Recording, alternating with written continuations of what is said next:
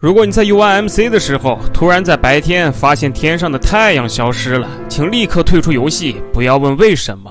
玩家加入了朋友 H 的服务器，刚进来，朋友 H 就告诉玩家，自己的服务器好像发生了怪事，那就是自己种植的胡萝卜消失了很多，只剩下了眼前的这几颗。玩家向朋友 H 再三确定了这些胡萝卜不是他自己收获了，而是真的凭空消失了后，决定帮朋友 H 排查一下服务器，看看哪里出现了问题。值得注意的是，当前服务器内就只有 H 与玩家两个人在线。玩家在开始调查之前，参观了一下朋友 H 搭建的地图，这确实搭建的很棒。如果不开创造的话，能搭建成这样，除了迪哥能这么干以外，还能有谁如此之干呢？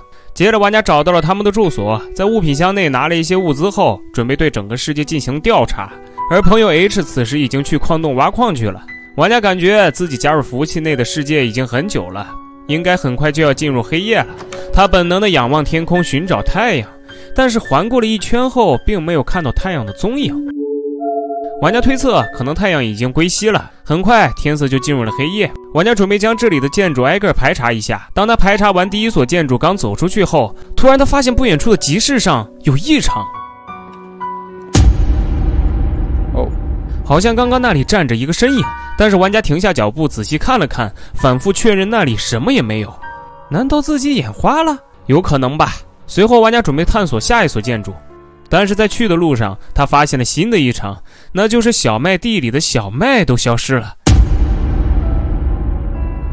他记得这里之前种植了很多小麦，似乎刚刚被人收获了一样，只剩下了几颗。这或许是朋友 H 收获的吧？玩家也没太在意。此时，消息框传来了朋友 H 的消息，他尖叫了起来。他说他挖到了钻石，而玩家则是找到了一处高台上俯瞰整个建筑群的周围。毕竟站得高看得远嘛。他现在所处的位置已经和天上的云彩肩并肩了，云彩正在从玩家的身上缓缓穿过，而透过云彩，玩家看到了一抹初升的红色出现，那应该是太阳。这也就意味着白天要来了，金灿灿的太阳光芒就快要照耀整个主世界。但是观察了一会儿，玩家感觉不太对劲，太阳呢？另一侧的月亮已经消失了，但是太阳哪儿去了？诡异的是，天色竟然亮了起来。玩家觉得这个现象非常之诡异，他立刻在消息框告诉了朋友 H。朋友 H 决定存放一下自己的物资后，就去找玩家。玩家现在的心情说不出来的激动和恐慌。他已经遇到过很多稀奇古怪的事儿，但是白天看不到太阳这种事情，他还是头一次遇到。他觉得这期视频如果屏幕前的大家不点赞的话，那就有点说不过去了。你们觉得呢？很快，朋友 H 回来了。玩家带着朋友 H 去参观了白天没有太阳的这一怪象。但是朋友一番仰望天空后，觉得这没什么稀奇的，有可能是雾气遮住了太阳。就比如阴天的时候，你能看到太阳吗？玩家竟被说得一时语塞，因为他知道朋友 H 很显然不相信自己。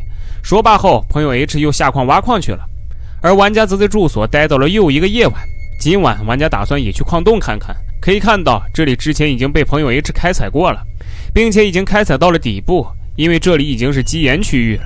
这儿有很多扇矿道，玩家不知道该从哪扇矿道入手。正当他四处转悠时，突然他看到了左侧这扇矿道又出现了异常。他刚刚好像在矿道的尽头看到了一个身影，那身形很高很瘦，是黑色的，就像是末影人。但是如果真的是末影人的话，那也很正常，这没什么奇怪的。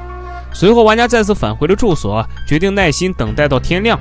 他打算在天快破晓的时候通知朋友 H 回来，他要向朋友证明白天看不到太阳的这一诡异现象。很快，朋友也亲眼目睹了，他也相信了玩家所说的。所以，这到底是怎么回事？为什么自己的服务器白天看不到太阳，但是夜晚能看到月亮？玩家也很不解，他反复的向朋友 H 确认了这些现象并不是他自己修改代码或者指令造成的。朋友 H 以自己的人格担保，自己没有添加任何能改变天气的模组或者修改任何游戏代码。总之，朋友 H 现在也很慌张。下一秒，他便找借口有事儿，先退出了服务器。玩家是一个帮人帮到底的人，尽管现在服务器内只剩下了自己，他也要帮助朋友调查清楚这到底是怎么回事。随后，他在一片草坪上发现了一个个小坑，这就像是一个个脚印。老粉们都知道，这种情况要么是巨型艾利克斯，要么是巨型史蒂夫。但是眼前这个坑很小，不像是那两种实体踩出来的，所以这会是什么神秘的实体造成的呢？玩家也不清楚。他决定去附近的山上再看看。玩家现在站在高山顶部，观察着四周以及脚下的情况。但是，正当他看向不远处的雪山时，山顶部好像有一个实体的身影。很明显，玩家打算放大视野查看，但是在他放大的一瞬间，那东西就以肉眼可见的瞬间消失了。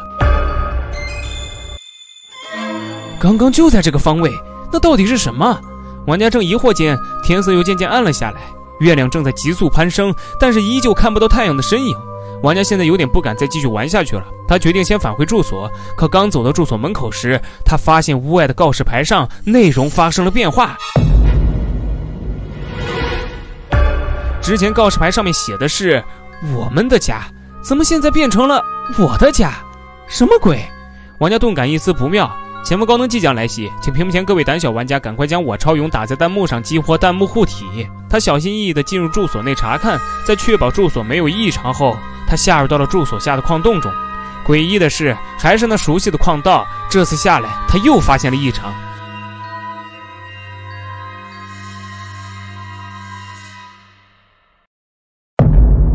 矿道的尽头好像多了一块告示牌，玩家走近后看到上面写着一堆乱码。